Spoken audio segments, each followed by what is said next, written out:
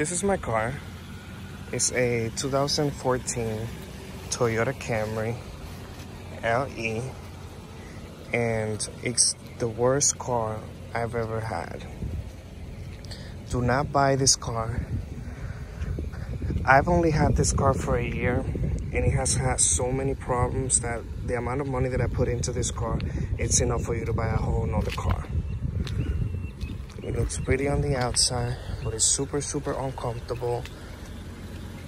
Not nice at all. This is a very cheap car, cheaply made, and it's a horrible car overall. If you can see here, I guess because of the sun, the airbag cover has come loose. The other side is still fine. And this is the interior. Not a good car though.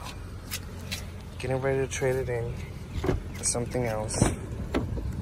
Because I bought this car February 2019 and it has been nothing but problems. It just stays sitting here more than what I can drive it. It's running now, but two days ago it was not starting. Now it starts. Apparently now the engine control module has gone bad on it. This car is not that old. Um, it has a major, major electrical problem. I don't know if it's only this particular car or just the Camrys are just not good cars. But I've just had nothing problems with it. It has 77,000 miles. Um, yeah, don't get this car at all.